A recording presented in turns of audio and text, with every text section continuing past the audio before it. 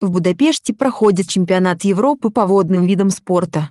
Российский дуэт синхронистов Александр Мальцев и Майя Гурбанбердиева стали чемпионами в технической программе. Судьи оценили выступления Майи Гурбанбердиева и Александра Мальцева в 91,7963 балла. Александр в пятый раз стал чемпионом Европы. Для Майи это третье европейское золото.